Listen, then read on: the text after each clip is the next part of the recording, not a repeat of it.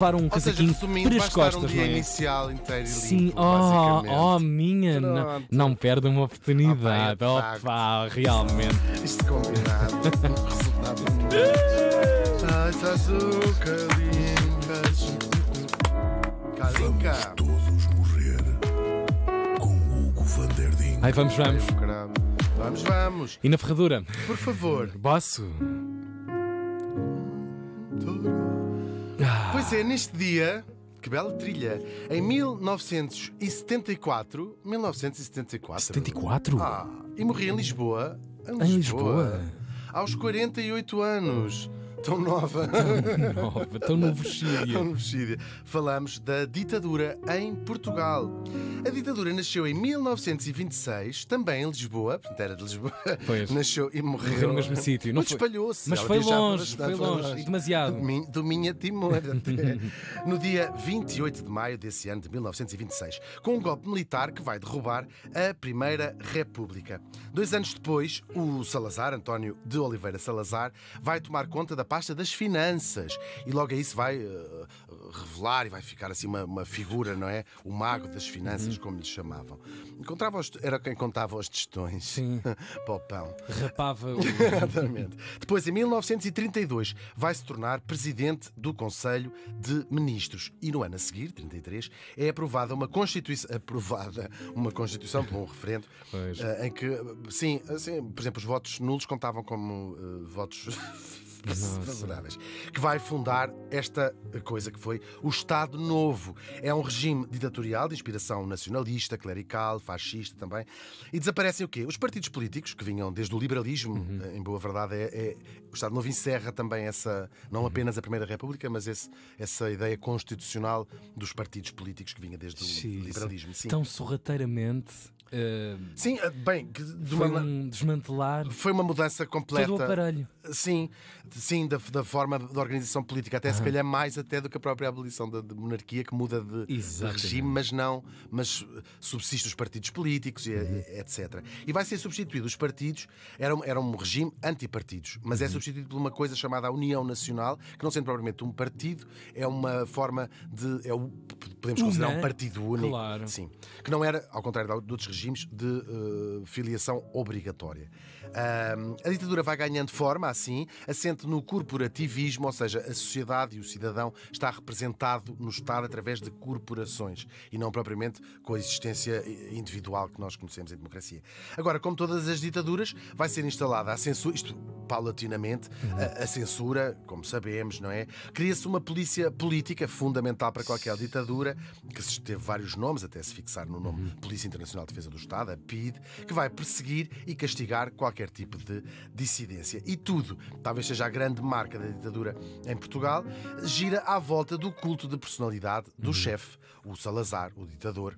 Aliás, também se chama este período o salazarismo, claro. Portanto, tudo igual àquilo que se disseminava por toda a Europa, não é? De Toda a Europa, sim, com uma ou outra característica Variante, claro. va- variante, até pelas circunstâncias Claro. eh, depois da história dos próprios países, mas de muita inspiração, eh, sobretudo com o fascismo eh, italiano, sim. Vai sim, com pontos de contacto, pontos de não contacto, Claro, mas com claro. a grande inspiração é essa. Também uma coisa muito assente na igreja eh, clerical e no nacionalismo, aí sim, com essa, o paralelismo com Espanha, Alemanha, Itália, Uhum. é, é verdade. E vai-se inventar no Estado Novo uma estética e uma ética até nacionalista.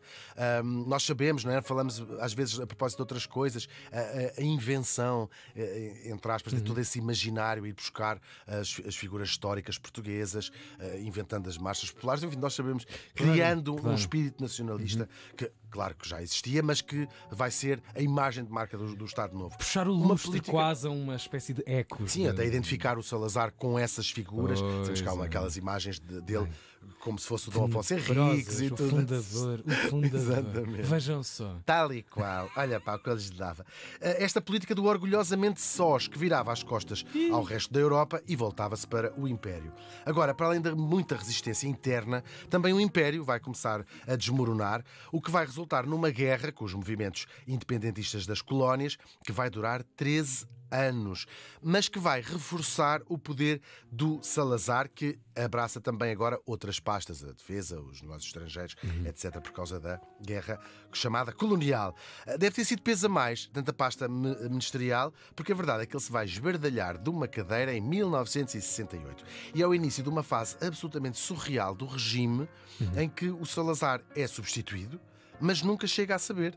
Faziam-se uh, falsas reuniões de conselhos de ministros. Isto, isto dá. Na Europa falava-se disto. Há reportagens sobre este uh, ditador que vive fechado num palácio a achar que ainda, que ainda governa. É, e é quase infantil, não é? É uma coisa muito estranha mesmo, mas que mostra uh, o culto de facto de personalidade. Sim. As pessoas iam e conseguiam provavelmente às arrecuas, continuavam a fazer falsos conselhos de, de ministros, até que ele morreu, claro, em 1970. Seguem-se quatro anos do consulado de Marcelo Caetano, que, com a ilusão do fim da ditadura, há de levar pela mão até à bonita idade de 48 anos, a mais longa do século XX na uhum. Europa. Agora, não é que em 48 anos não houvesse quem tentou matá-la, é verdade, que impedir que ela chegasse aos 48 anos. Para além de muitos homens e mulheres que, ou na luz ou na sombra, também na clandestinidade, lutaram contra a ditadura, alguns deles pagando com a sua própria vida. Foram centenas, milhares. Uh, vamos lembrar aqui apenas aqueles que já passaram pelo Vamos Todos uh, Morrer. O general Norton de Matos, que concorreu às eleições em 1949. Também o general Humberto Delgado, que fez o mesmo uhum. em 1958 e que foi assassinado em 1965.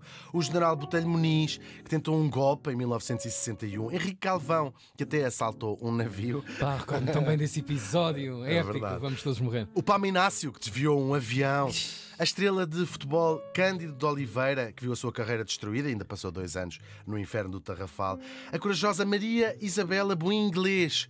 O jovem pintor José Dias Coelho, assassinado aos 38 anos. A resistente Carolina Loff. O anarquista Emílio Santana, que tentou matar o Salazar com uma bomba mas também a Natália Correia, o Francisco Sousa Tavares ou a Sofia de Melbrenner, entre muitos outros que também estamos a falar daqueles que já passaram pelo Vamos Todos Morrer. Uhum. Todos eles ajudaram a derrubar, a derrubar mais uma pedra nesse muro da ditadura. Até que, no dia 24 de abril de 1974, um grupo de militares põe em marcha um golpe, a chamada Operação Fim Regime, comandada pelo capitão Salgueiro Maia. Na telefonia, nos emissores associados, ouve-se a voz de João Paulo Diniz anunciar Faltam 5 minutos para as 23 horas. Convosco, Paulo de Carvalho, com o Eurofestival 74 e depois do Adeus. Que aqui estamos a ouvir numa versão com o Globo no piano e Romeu Tristão no contrabaixo. Era a primeira senha. A revolução entra em modo irreversível e full swing, como se diz em francês. Dos vários quartéis começa a marcha rumo a Lisboa e à liberdade. Sabemos essas histórias fantásticas do tanque para no sinal encarnado, o semáforo, não é? E segue 21 minutos entrados no dia 25 de abril, a Renascença passa o sinal definitivo. Grândola Vila Morena de José Afonso. Vão-se tomando vários quartéis, uhum. toma-se a RTP, o Rádio Clube Português, onde às 4 da manhã, 4 e 26 da manhã, uhum. Joaquim Furtado lê a frase, que é histórica desse dia, que começa com aqui posto de comando do movimento das Forças Armadas. Doze horas depois, estaria tudo consumado com a rendição de Marcelo Caetano no, no quartel do Carmo e com praticamente vítimas nenhumas. Nós lembramos precisamente o ano passado as quatro pessoas que morreram neste dia na sede da PID, na Antónia Maria Cardoso. Por esta altura, a revolução começava já a ganhar outro nome, porque vai ficar conhecida, graças a uma mulher, Celeste Caeiro, que ainda não podemos trazê-la aqui, porque está, graças a Deus, viva. e com a sua braçada de cravos, que são as flores do enterro da ditadura. Eu nasci em 1976 e, portanto, já assisti aos 5 anos do 25 de Abril, aos 10, aos 15, aos 20, aos 25, aos 30, aos 35, aos 40 e até aos 45. I'm that old. e poderíamos acabar aqui esta rubrica hoje. Porém, neste dia em que comemoramos 50 anos da Revolução, tornou-se necessário acrescentar mais umas quantas palavras. Apesar de morta enterrada há cinco décadas, tal como algumas modas, por exemplo, as permanentes, com pala e farripas, os brincos de mola, as calças à boca de sino ou fumar nos aviões, de vez em quando aparecem pessoas com saudades de coisas do passado, com a ilusão, acho eu, de que essas coisas eram boas no tal passado. E até aparecem algumas pessoas que têm saudades das coisas que sabem que não eram boas. Felizmente, nós vivemos hoje e agora num tempo em que todos temos liberdade para pensar e para dizer. É verdade. E é essa a grande diferença entre hoje e o passado. E é a coisa mais preciosa que nós temos. E por isso é um trabalho sempre, sempre incompleto. Não queremos, não deixaremos e não voltaremos nunca atrás. A ditadura em Portugal morreu faz hoje 50 anos. Que